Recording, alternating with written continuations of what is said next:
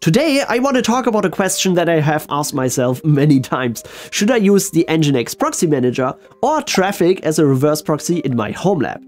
Both are great solutions and that's why I already made some tutorials here on the channel, but I'm always searching for the best solution, the most reliable one and that integrates well into the rest of my home setup and where I can also learn something useful. It's an exciting decision to talk about and that's why I also wanted to know from you guys, so what are you currently using in your home lab? By the way, thank you all for your feedback and your support, it's, it's just great to see that so many guys of you are building home labs and experimenting with uh, self-hosting and it isn't really surprising to me that many of you are using the Nginx Proxy Manager because it's just great for that. Also some are using Traefik and other reverse proxies, which are probably also great, but let's dive a little bit deeper into these solutions and let me explain to you what I'm currently using in my home lab and why I'm doing it this way. Regardless of where you are in your home lab or your IT journey right now and your prior knowledge about reverse proxies, let's recap why we're using them because this is really important to keep in mind when we compare the Nginx Proxy Manager against Traefik. So the main purpose of a reverse proxy is to sit in front of a web application and forward your client connections to it. And this web application can be anything. It could be an administrative dashboard, a password manager, or even a website. In Home Labs, I guess most of you will run several self-hosted applications and workloads, and that's no different for me. I'm for example running my own password manager with Vaultwarden, I'm running Portainer to manage my containers, or other administrative web interfaces like my monitoring solution with Grafana. And I usually put all of these web applications behind a reverse proxy. This is great for securing your applications because if they don't work on the HTTPS protocol, like many smaller self-hosted apps, the reverse proxy can do that for us us. It also makes the management of certificates easier because an HTTPS connection always requires an SSL certificate to encrypt the traffic and validate trust between the client and the server. And managing SSL certificates can be really annoying. I still remember a few years ago you needed to buy trusted SSL certs from a vendor. With Let's Encrypt that became much easier because you can now get free SSL certs for them, but you still need to manage these certs because SSL certificates always have expiry dates, so you need to refresh them from time to time. And free SSL certs from Let's Encrypt usually expire every three months, I believe. Anyway, it isn't a long time. So assume you need to do that for every web application. That can become a painful task. And here reverse proxies obviously make things easier for us because you now have a central point to obtain and manage these certs. And both the Nginx Proxy Manager and Traefik as well are great to automate the certificate management via Let's Encrypt they can obtain and refresh those trusted SSL certs fully automatic. So that's a huge benefit for me why I'm using reverse proxies in my setup.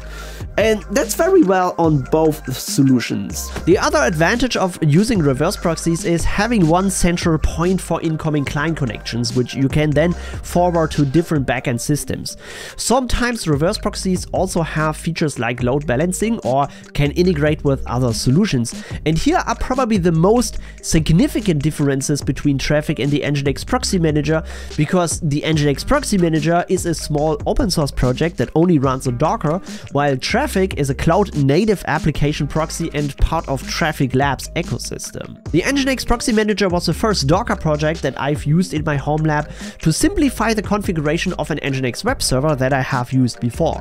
And that really made things a lot easier for me when I was self-hosting some applications and quickly wanted to make them accessible with SSL certificates. Because it runs on Docker, it can be perfectly integrated in your own home lab stack when you're running some containers with web applications. It has a nice and clean web UI, so you don't need to mess around with configuration files or complicated terminal commands. However, once I started to look into Kubernetes and container orchestration, I came across Traefik. And Traefik works perfectly in these cloud-native solutions like Docker or Kubernetes because it can integrate with backend providers and automate the configuration process. It also has a web UI dashboard, but the main configuration is done in files or container labels and arguments that you would need to include in your deployments. It also works as an ingress controller in Kubernetes, and that is the main reason why I'm using it there. But also in Docker, it works very well. By the way, I also created two videos about Traefik if you want to know how you can use that in Kubernetes or Docker, so check them out, I will put you a link to them in the description down below. So to summarize it, the Nginx Proxy Manager is very easy and intuitive to configure because it's using a nice and clean web interface. Traefik, on the other hand is a bit more complicated, but the advantage is that it can integrate with backend providers. So once you do the initial deployment and your configuration, it's easier afterward. My current home lab setup is a virtual Linux server running on my Proxmox instance.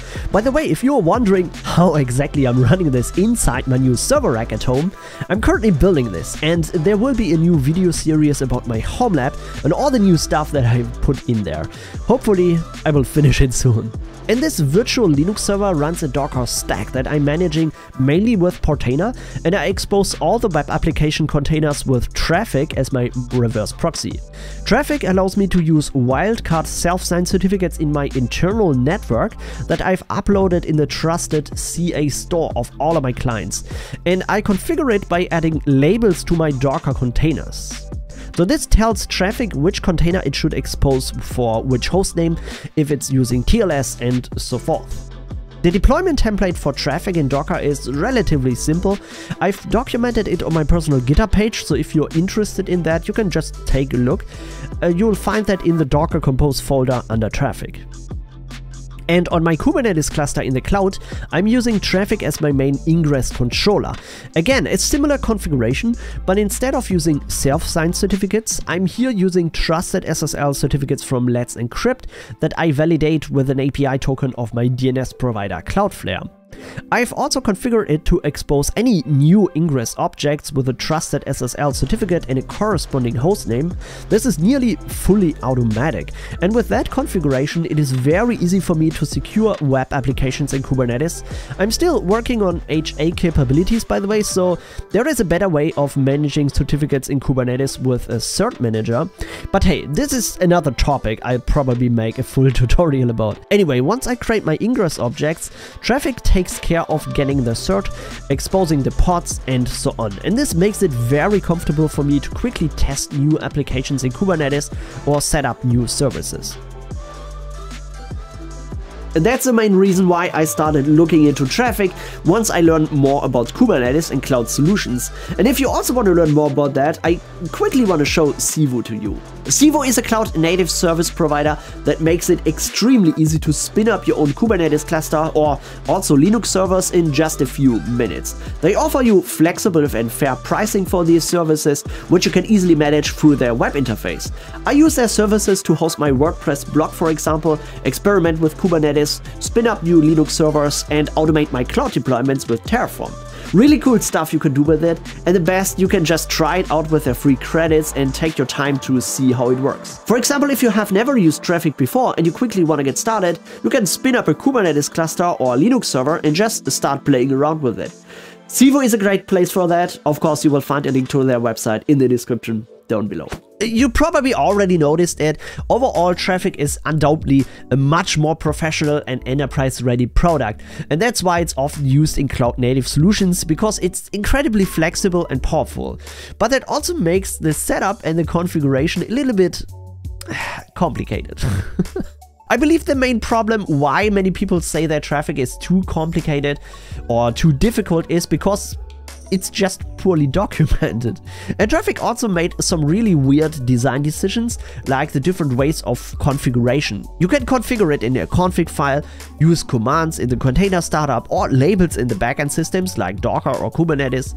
It's nice to have that flexibility, but I think it would make things much easier if Traefik would just say, hey, here is how you can configure it, and this is the only way to do it. That would definitely make the documentation much more readable and the product much more intuitive to configure. They also made some significant changes from the version 1 to version 2, which means you now have still some tutorials on the internet showing configuration entries that only work in the older versions, but not in the newer ones. And all of this really doesn't help to get started with Traefik. And that's why I often found myself searching and searching through documentation and tutorials to just find a solution for specific configuration entries or some issues I had. But that changed once I became more and more familiar with Traefik and now I see its advantages. I'm still not an expert in it, by no means, but um, I now have a solid understanding of how it works, I would say. And the more I use it, the more I love it because it also has some really nice features. Once you establish your environments and your deployments, adding new web applications to your stack becomes very comfortable, especially when you're working with cloud native solutions like Kubernetes. Traefik is just perfect there. In regards to that, the Nginx Proxy Manager seems to be the complete underdog. But that wouldn't be fair, because the Nginx Proxy Manager is also a fantastic project. Sure, it doesn't have all the features that Traefik has, because it's just not made for cloud native solutions, but the question isn't really if the Nginx Proxy Manager or Traefik is the better software. The question is more, what do you actually need in your home lab? Maybe you don't need Kubernetes or you are okay with manual configuration and you just embrace the simplicity and want to get things done. And where Traefik has its weaknesses like the fragmented documentation or the steep learning curve, the Nginx Proxy Manager is a perfect alternative for a home lab that isn't less mature as a solution. Nginx is one of the most commonly used web servers on the internet. It has excellent security features built into the product and it's very reliable and stable. And the Nginx Proxy Manager just makes the configuration of an Nginx based reverse proxy extremely easy for a home lab. So I believe this project is perfect if you are running a bunch of self-hosted applications or services and you want to protect them or make them accessible from outside. Maybe you want to expose web applications securely that don't come with HTTPS encryption or you just want to add some access lists based on users or IP addresses. You can do all of this stuff that you would typically need in a home lab. Sure, it doesn't work well with Kubernetes and advanced container orchestration, but if you just want to self-host some applications on a single Docker server, the Nginx Proxy Manager is a great solution that is much simpler to use and configure than most powerful reverse proxies or load balancers. But after using both of them for several months, using them on cloud deployments and internal networks like my home lab, I just have to say Traefik is my favorite. And I will tell you why. The main purpose of a home lab, at least for me, is not self-hosting. Self-hosting is excellent for some things, but this is not why I'm running a home lab. As an IT guy working in that field for quite some time now, I'm always interested in learning and experimenting with new technologies that will help me to get better in my main job. And that's why I highly focus on Kubernetes, DevOps or automation topics even in my home lab. And here you will absolutely gain more knowledge when you're using a reverse proxy like Traefik. And that's why I have replaced all of my Nginx Proxy Manager deployments in my home lab with Traefik. But of course, it doesn't mean that you need to do the same. Maybe cloud isn't something you're interested in, or you want to have something that you can just put in your home server and it just works and is easy to administrate. Then the Nginx Proxy Manager might be better for you. But if you are interested in cloud native solutions, if you want to learn more about web applications and Kubernetes, it is worth taking a look at Traefik. But what do you think? What is your favorite reverse proxy and why? Maybe you are using a completely different solution like HAProxy or Nginx. Just tell it to me in the comments what you're using. Uh, that would be really interesting for me to know.